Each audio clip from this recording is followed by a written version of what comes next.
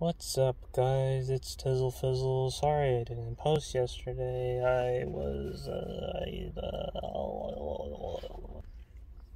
Anyways, for Memorial Day weekend, we decided to go to LA and stay the night. Um, which is, uh, uh I don't, I don't, I don't know if it's really a trip if, uh, we're just going like an hour away to stay at a hotel, but whatever. So our first stop was the Santa Monica Pier. And I was like, okay, cool. It, it looks like a fun place. So we got to the entrance and uh, we saw there's a bunch of people there. And then my my mother was like, oh, we should turn back. There's too many people. And I'm like, okay, well, that's cool. So we left the pier and uh, yeah, next stop, Staples Center. And I was like, oh, damn, I'm wearing my Kobe shirt. Oh, wow, I, that's gonna be cool, I guess.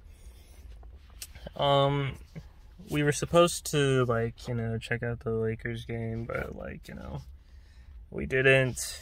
And they kind of lost, so uh, that's awkward. Uh, we just stood outside of Staples Center for a little bit and left, so that was awesome. uh, yeah, that's uh, that's that's basically our day. And now, guess where I'm at? Guess where I'm at?